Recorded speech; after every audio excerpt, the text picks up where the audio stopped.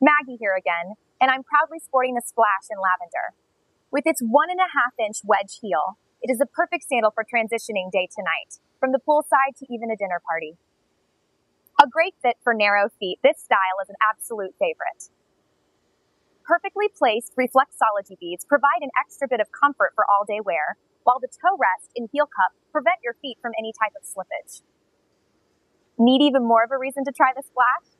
Like all Okabashis, it's 100% made in the USA, is 100% recyclable, and less than $20.